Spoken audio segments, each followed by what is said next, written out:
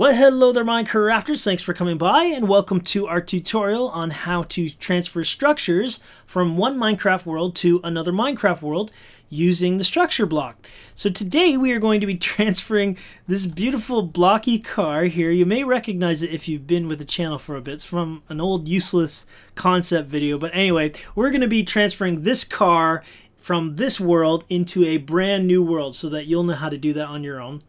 Now this could be something that maybe you make really cool and you want to show a friend, so you want to like send them the file over the internet, or maybe you just download something that you really, really like. I'm going to show you how to put those folders into your map and then you can just load them as a structure file.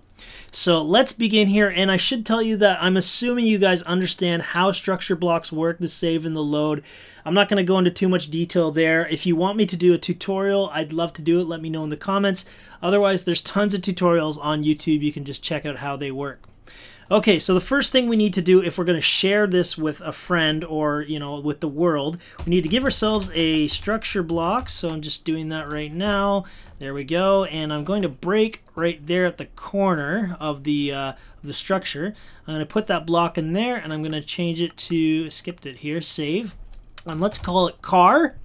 And I'm going to control pick block that, uh, that structure block so that I have the same NBT attached or the same name.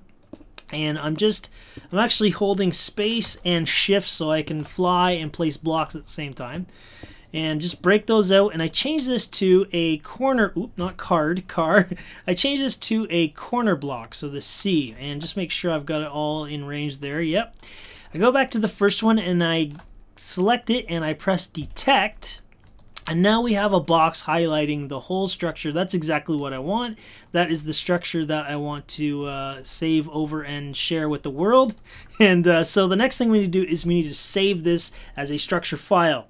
So there's two ways to activate this block. You can do it with a redstone signal. That doesn't actually save it as a file. It just saves it in the RAM or uh, just kind of in the current game that's being opened. We want to create a file. So we click on the block again and we press the save button. You'll see structure saved as car. So we've got our file ready to go. It's on our computer. We'll find that in a minute. But the next thing we want to do is we want to create the new world. So I'm going to get out of here. I'm going to go to single player. There's the world we were just in. I'm going to create a new world and let's call it something really easy to find. Uh, let's call it 1, 2, 3, 4, 5, 6, 7, 8, 9. There we go. Very simple. And uh, creative, I'm just going to make a flat world here with uh, redstone ready. That's what I usually do. Done. Create new world. And it'll be a blank, you know, generic, just like our last world with nothing in it. So we have it here. We know what the title is. I'm going to get out of here. And we're going to put that full file inside that world. So the way we want to do that is we want to find the file and we go to options off of the title menu or the, the main screen, whatever it is, and you go to resource packs, and then you click this open resource pack folder. And that is going to bring us into our resource pack folder on our computer. Now, I believe this works the same for Mac. I've been told it does, but uh, this is obviously Windows. Anyway, here we are in the resource pack folder. You can see up here. If I go back to Minecraft, that is our main root folder for all of the Minecraft stuff. You don't have to actually search for it. It just brings it up when you click open resource pack folder. And then you want to go down to saves. And that is going to bring us to all of our saves. I have a lot of saves in my uh, in my Minecraft, all of our Minecraft worlds and we're going to go to the one where we saved the actual car structure file or whatever the structure file you you wanted to share. We're going to go into that. That's another minecraft this was this is the one right here. And you see I have a structures folder here. So double click that and it gives me my structure car.nbt I'm going to copy that and if I'm going to share it with a friend this is the file I'm going to send to them or upload on the internet wherever we want to share this uh, that's the file that we need to send to people so they can open it. Now, let's say we're the person who wants to open that file. So we go to that website or we uh, get from our friend this, this cool car NBT structure and they give it to us. So where do we put it?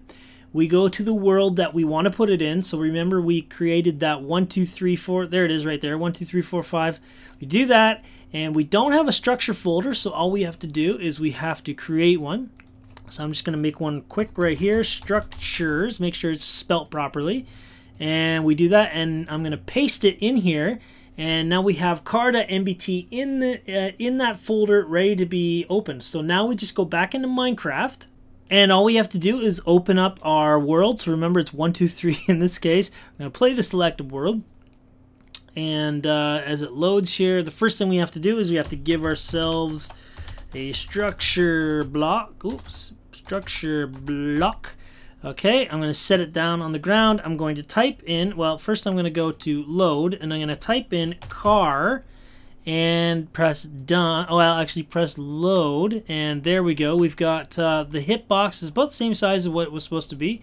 And if I press load again, or I can even do it with the redstone signal, there is our structure. That's exactly what we want to do. So that pretty simple, I think, especially with just clicking on open resource pack folder. You don't have to search for that app data thing that a lot of people have told you.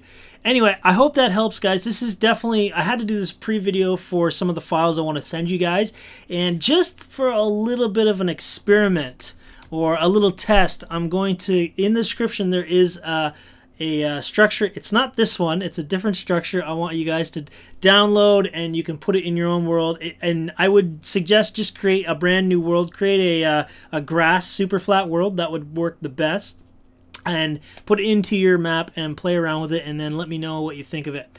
But anyway, guys, thanks for watching. Hope you enjoyed that. Hopefully it's helpful and we will see you next time. Enjoy your Minecrafting and have a great day.